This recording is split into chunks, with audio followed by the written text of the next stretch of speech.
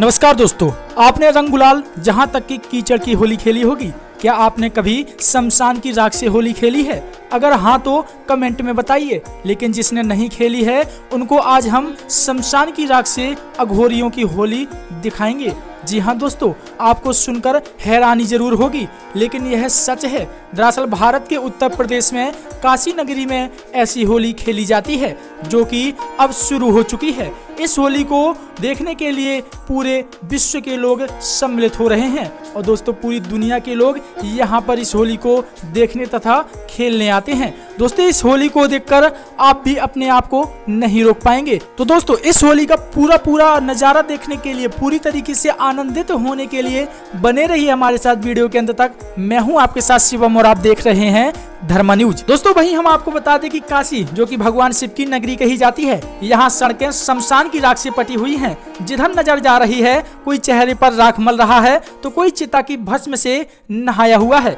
कोई इंसानी खोपड़ी की माला गले में पहने हुए है तो कोई मुँह में ज़िंदा सांप दवाई रखकर नृत्य कर रहा है। तो कोई जानवरों की खाल पहनकर डमरू बजा रहा है। एक तरफ़ चिताएँ जल रही हैं तो दूसरी तरफ़ लोग उसकी राख से होली खेल रहे हैं। यानी खुशी और गम साथ साथ चल रहे हैं। आम इंसान जो चिता की राख से दूर भागता है, आज वो इसे प्रसाद मानकर एक चुटकी राख के लिए घंटों इंतज़ार कर रहा है। भीड़ इतनी है कि पैर रखने तक की भी जगह नहीं है। वहीं हम आपको बता दें कि काशी में होली से चार पाँच दिन पहले ही मसान होली शुरुआत हो जाती है। इसके लिए न सिर्फ़ देश भर से, बल्कि बड़ी संख्या में विदेशी भी यहाँ मसान होली खेलने आते हैं। यही वजह है कि काशी विश्वनाथ मंदिर के आसपास एक भी होटल या गेस्ट हाउस खाली नहीं है। रास्ते में जगह जगह अघोरी बाबा करतब दिखा रहे हैं। कोई हाथ में नाग लेकर घूम रहा है तो कोई आग से खेल रहा है। चिता की भस्म हवा में इस तरह घुली है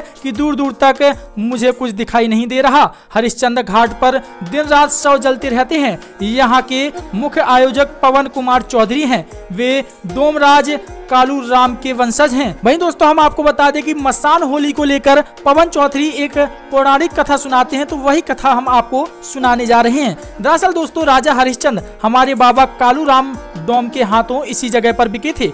उनकी पत्नी भी कालू राम डोम के यहाँ काम करने लगी थी, जब राजा हरिश्चंद्र ने अपनी पत्नी तारा से अपने बेटे के अंतिम संस्कार के लिए भी कर चुकाने को कहा तो तारा ने अपनी साड़ी फाड़कर कर चुकाया। उस दिन एकादशी थी। राजा की इस सत्यवादिता को देखकर भगवान विष्णु प्रकट हुए और कहने लगे कि, राजा, तुम अपनी तपस्या में सफल हुए। तुम अमर रहोगे और यह दुनिया तुम्हें सत्यवादी राजा हरिश्चंद्र के नाम से भी जानेगी। भगवान विष्णु के पादुका निशान आज भी हरिश्चंद्र घाट पर हैं। इसी स्थान से चिता भस्म होली की शुरुआत की जाती है। वहीं हम आपको बता दें कि मणिकर्णिका घाट में डोम लोकेश चौधरी बताते हैं कि रंग भरी एकादशी के दिन शिवजी माता पार्वती का गौना कराकर लाए थे। इसके बाद उन्होंने काशी में अपने गणों के साथ रंग गुलाल की होली खेली। लेकिन वे शमशान में बसने वाले भूत प्रेत पिशाच, किन्नर और अन्य जीव जंतु आदि के साथ होली नहीं खेल पाए थे। इसीलिए रंग भरी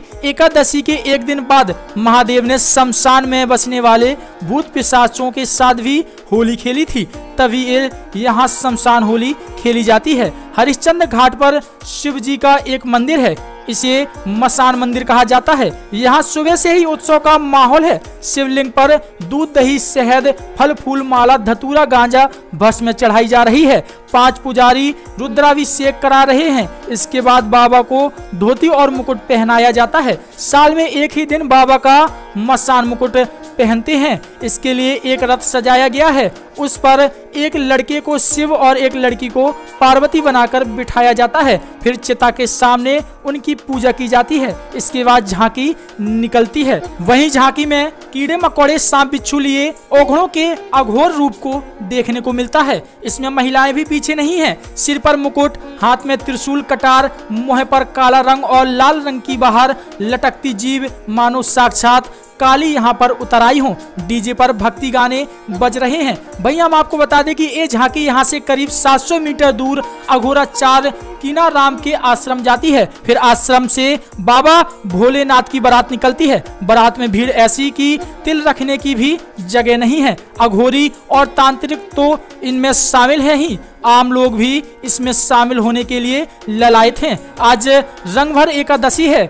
हज़ारों लोग अघोरियों को देखने के लिए आए हुए हैं। कोई बोल रहा है कि ऐसे ऐसे बाबा साल में एक बार ही दिखाई देते हैं। इसलिए इनका दर्शन करना सौभाग्य की बात होती है। मीडिया और यूट्यूबर्स का भी यहाँ हुजूम उमड़ा है। हर कोई ऐसे अद्भुत दृश्यों को अपने कैमरे में कैद करना चाहता है। दोपहर बाद करीब दो बजे जहाँ की ओघरपीठ आश्रम पहुँचती है। इसके बाद सभी ओ अघोरी बाबा और डोम राजा उसी जगह पहुँचते हैं, जहाँ भगवान विष्णु राजा हरिश्चंद्र के सामने प्रकट हुए थे।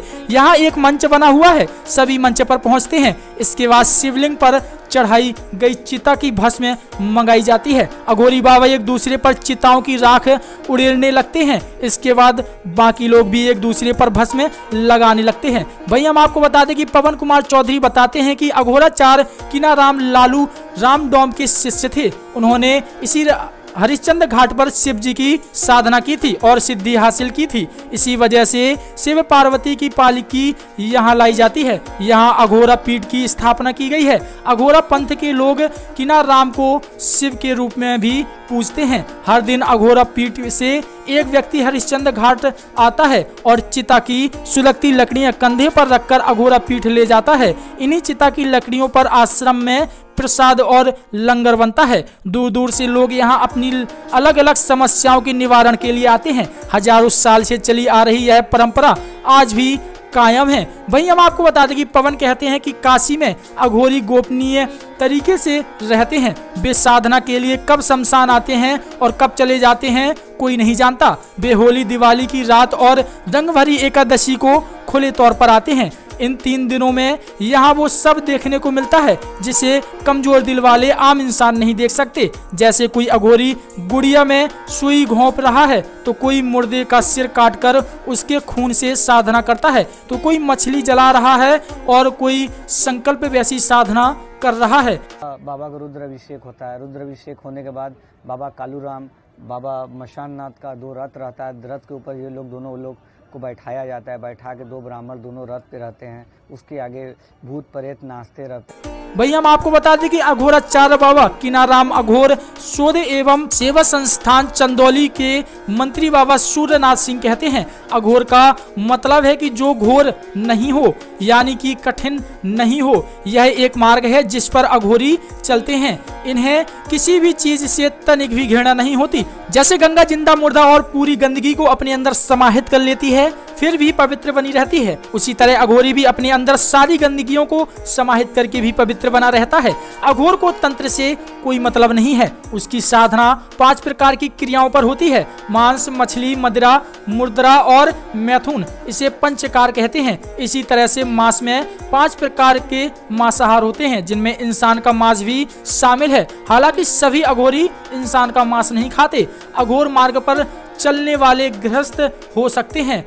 लेकिन अघोर साधक अविवाहित होते हैं। अघोरी बनने के लिए एक गुरु चुनना होता है। उससे दीक्षा लेने के बाद व्यक्ति अघोरी बन जाता है। तो दोस्तों, कैसी लगी आपको यह खबर और कैसा लगा आपको काशी का अद्भुत नज़ारा? जल्दी से जल्दी हमें कमेंट करके बताइए। और हमें कमेंट करके जय भोले, जय जय भोले लिख कर भेजिए। और दोस्तों, अगर आपने हमारे चैनल को सब्सक्राइब नहीं किया तो सब्सक्राइब करके घंटी बजा दीजिए, जिससे कि ऐसी खबरें आप तक सबसे पहले पहुँचे। और अगर आपने वीडियो को लाइक नहीं किया तो वीडियो को लाइक करके सभी जगह फैला दीजिए। धन्यवाद दोस्तों। जय हिंद, जय भारत, जय हिंद की सेना और जय सत्य सनातन धर्म की।